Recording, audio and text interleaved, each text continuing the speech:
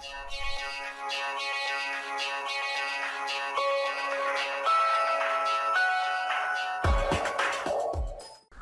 যৌনদাসী হিসেবে সাতবার বিক্রি করা হয়। ইরাকের উত্তরাঞ্চলের লালিশ গ্রামে কেউ জুতা পরেন না। গ্রামটিকে এত বেশি পবিত্র মনে করা হয় যে এখানে ঘুরতে আসা সব পর্যটক খালি পায়ে রাস্তায় হাঁটতে বাধ্য।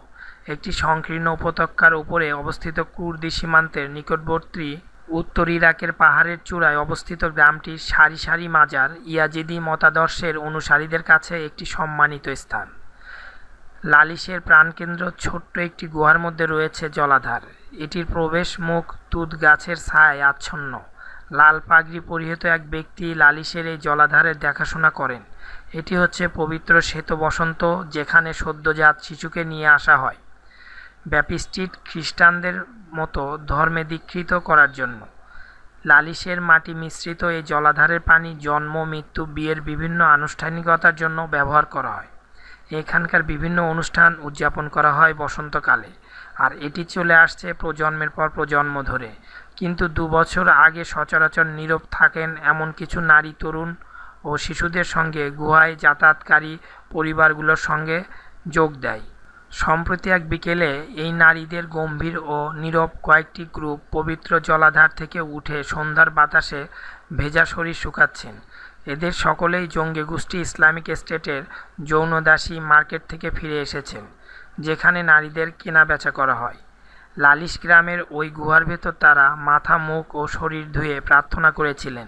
এর মাধ্যমে তারা তাদের বাল্যকালে দীক্ষা নিয়ে বিশ্বাসে ফিরে যান। আঠাশ বছর বয়সী তরুণী নূর অত্যন্ত ক্ষীণ কণ্ঠে বলেন, লালিশে আমার মুক্তি পেয়েছি। নূর যখন এই কথা বলেছিলেন, তখন তার মুখে হালকা হাসির আভা ফুটে উঠলেও নিজের লুকায়িত দুঃখকে আড়াল করতে পারছিল না সেই হাসি। তার স্বামী এখন নিখোঁজ। আইএস জঙ্গিদের হাতে পনেরো মাসের বন্দি জীবনের পর বর্তমানে তিন সন্তান সহ মানসিকভাবে অসুস্থ নূর। লালিশের সাধারণ ও সামান্য আনুষ্ঠানিকতা পূর্বের অবস্থায় ফিরে যেতে নূরের জন্য অত্যন্ত জরুরি। প্রকৃত নাম প্রকাশ না করতে অনুরোধ জানানোয় ছদ্মনাম নূর ব্যবহার করা হয়েছে। নিজেকে শুদ্ধ করতে পবিত্র জলাধারে অন্তত পাঁচ থেকে ছয়বার তিনি এসেছিলেন। নিজের জীবন পুনর্গঠনে সহায়তা করতে মেয়েকে নিয়ে এসেছেন প্রায় তিনবার অনুষ্ঠানে তাকে দেয়া সাদা রঙের একটি স্কার্ফ দেখিয়ে নূর বলেন, এই সাদা কাপড়গুলো আমাকে আনন্দ দেয়।